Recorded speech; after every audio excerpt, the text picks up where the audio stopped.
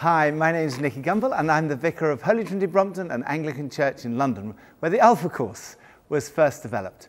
The Alpha Course is a 10-week practical introduction to Christianity and it provides an opportunity for non-churchgoers or those who've recently become Christians to find out more about the Christian faith.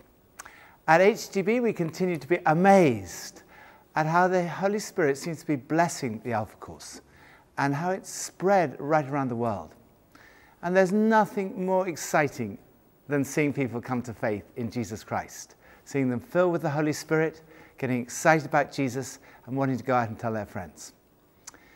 Pippa and I are delighted to be coming to Orlando for the National Alpha Conference at Northland Church on the 20th and 21st of October 2009. The conference has been designed for those who want to learn how to run an effective Alpha course in their own church or workplace, and also for experienced Alpha leaders who want to come with their teams to be refreshed and envisioned. The course has been attended by over 13 million people in 163 countries, right across all the denominations. And we're excited about this year's conference because we believe the Lord is going to use this event to reignite a fresh passion for him and for the unchurched. The National Alpha Conference will cover all the main Alpha training talks, including the principles of Alpha. There'll be an opportunity to learn about Alpha in multicultural settings, Alpha for ESOL, Alpha in a church plant, Global Alpha Training, GAT, and other specialist ministries.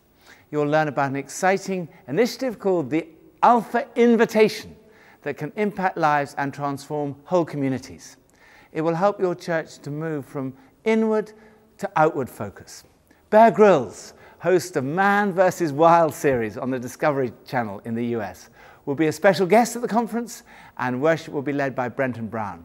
To secure your place at the conference, I'd love to encourage you and your team to register early. And Pippa and I very much look forward to seeing you in October.